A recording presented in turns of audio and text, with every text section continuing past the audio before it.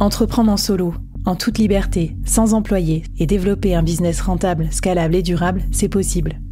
Je suis Flavie Prévost, ex-dirigeante devenue solopreneur et créatrice du premier incubateur de solopreneurs en France. Avec ce podcast, j'ai voulu créer le board que j'aurais aimé avoir à mes côtés quand je me suis lancée en solo.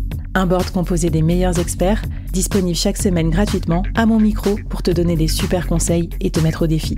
L'épisode va commencer je te préviens, ça va vite. Alors n'oublie pas de t'abonner à la newsletter pour recevoir les bonus.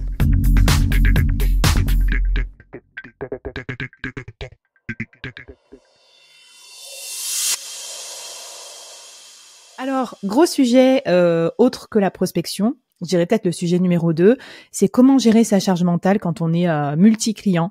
On a plein de missions en cours parce que je vous connais les freelances, hein, vous dites oui à tout, donc forcément, des fois ça dépasse un petit peu votre bande passante. Euh, comment tu gères tes missions clients sur Notion pour pas que ça soit l'usine à gaz, mais qu'on ait quand même l'essentiel des tâches à faire et des projets à suivre? Ouais. Alors pour être tout à fait transparente, donc moi je, je, suis consultante sur trois outils et pendant longtemps je suivais mes missions clients sur Asana, qui est un super outil. Sauf qu'à côté, je développais chez des clients des, des Notion euh, au top pour suivre leurs projets. Et je me suis dit, bon, euh, je crois qu'il va falloir que j'y passe aussi parce que pour donner les meilleurs conseils possibles, il faut, euh, il faut que moi je le teste, que je vois les limites, que je vois les problèmes. Donc ça fait que un an que je fais moi mes missions euh, clients sur euh, Notion, en essayant aussi de garder l'œil sur Asana et sur Monday, hein, c'est pas toujours évident. et donc le premier, alors une fois qu'on est, qu'on est sorti de la partie prospect, on a les besoins. Euh, sur la, je vais créer donc une base euh, projet et une base client, parce que évidemment, je peux avoir plusieurs projets avec euh, un seul client. Euh, Par exemple, on va travailler avec le service marketing, ça va être un premier projet, puis ensuite on va travailler avec le service compta, ça va être un deuxième projet. Attends, ça c'est intéressant déjà parce que tu vois, tout le monde n'a pas cette logique. En fait, souvent, souvent la logique qu'on a, c'est mettre le client, et ça c'est la merde parce que je suis d'accord, il y a plusieurs parties prenantes, il y a plusieurs projets, ils n'ont pas tous la même temporalité, tu bosses pas forcément avec les mêmes personnes dans les différents projets. Donc là, très bien, déjà, on dissocie les projets et les clients et j'imagine qu'après, on les relie quand même, mais c'est deux bases de données séparées. Tout à fait.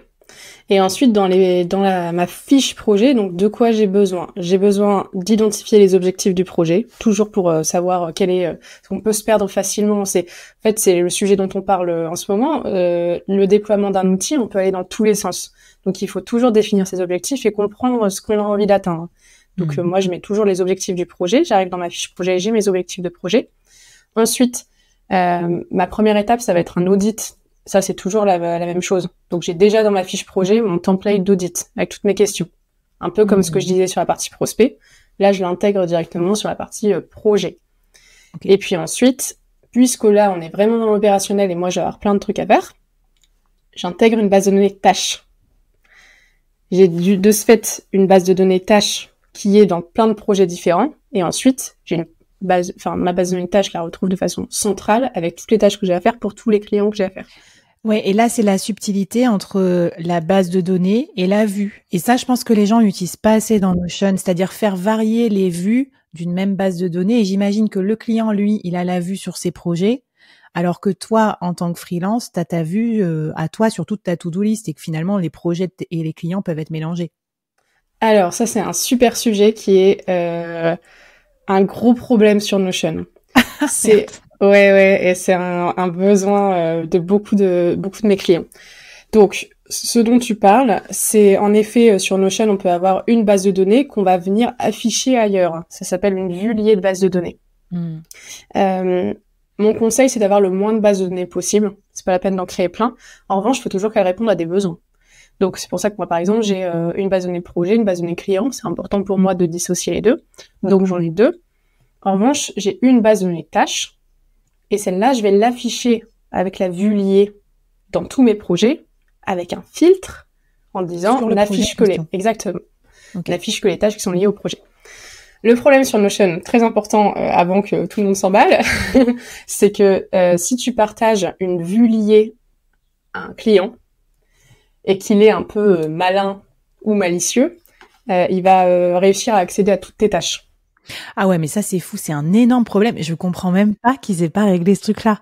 Euh, donc par exemple, ne faites pas un truc où genre euh, le client c'est une vue que de ce client et derrière il y a toute votre base de données client parce qu'en gros ça veut dire que votre client il pourra accéder à tous les autres clients et toutes les notes que vous avez prises sur vos autres clients. Exact. exact. Ouais, ouais, c'est ça. Parce qu'en fait, bah, si, euh, si vous êtes, si vous utilisez Notion, vous verrez que quand vous partagez une vue, donc vous arrivez sur une base de données, vous rentrez dedans et vous pouvez voir au-dessus, tout en haut à gauche, euh, où est-ce que cette information, d'où est-ce que cette information vient Et là, on accède très facilement à la base de données euh, mère, entre guillemets. Donc, euh, euh, moi, la seule façon que j'ai de partager mes pages Notion à mes clients, c'est avec le texte, pas mes tâches. Mes tâches, elles restent perso.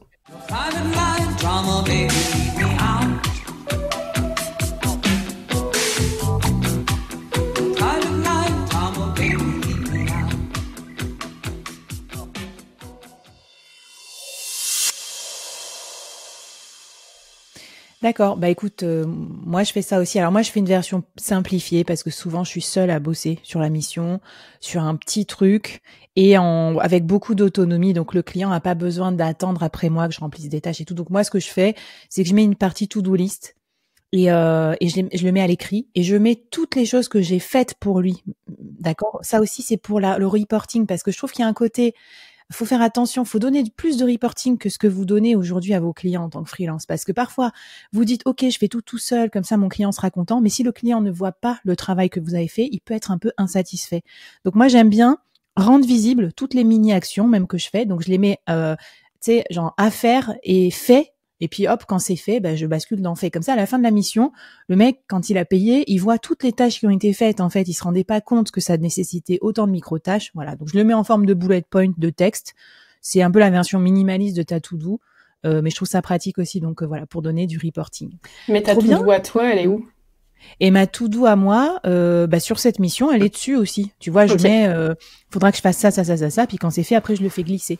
Ok, mais de ce fait, euh, tu bascules, tu dois basculer d'une mission à une autre pour voir euh, tes ah, tâches oui, à oui, faire. Ouais, ouais, mais parce qu'aussi, moi, j'ai pas non plus euh, beaucoup de missions clients, donc je m'étais réservé un jour par client pour la mission, et euh, bah, le lundi, euh, j'ouvrais la fiche du client et boum, j'envoyais du bois sur sur la mission client. D'ailleurs, c'est ce que t'as mis comme petit logo, j'aime bien, comme petit emoji, t'as mis une bûche, du bois, parce que suivi des projets, c'est allez, on découpe les tâches et on y va à la bataille. Ouais, c'est ça. Mais moi, je, je peux avoir 15 projets en même temps.